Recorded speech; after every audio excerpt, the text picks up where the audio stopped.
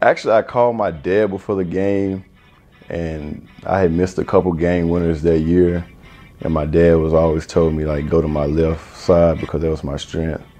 And so I knew the whole time I was going left. And once he cut me off, I kind of just pushed him off a little bit just to get space. And once I got space, I pretty much knew I knew it was going in.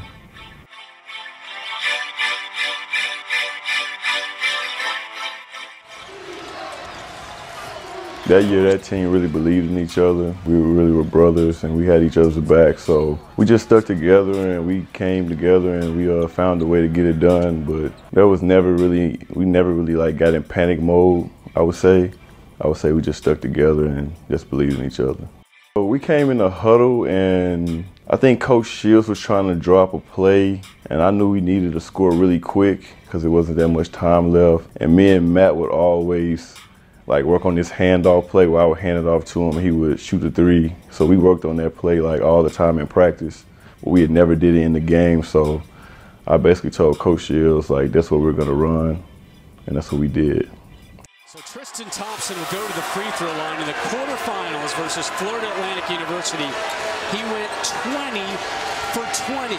He, I think he was one of the best free throw shooters in the conference. So when he went to the line, you know, we pretty much thought that he would make both free throws, but when he missed them, I know we knew we had a chance to win the game. We knew it was our game. Inbound it, and it gets it right into the hands of Bozeman. I thought it was going in from the jump. Like as soon as it left my hands, everything felt good about it, and I had put in a lot of work, so I was very confident in myself. I actually was trying to get back on defense. I think because I was just I was so locked in like during that moment, and I was just trying to play it out to the very end.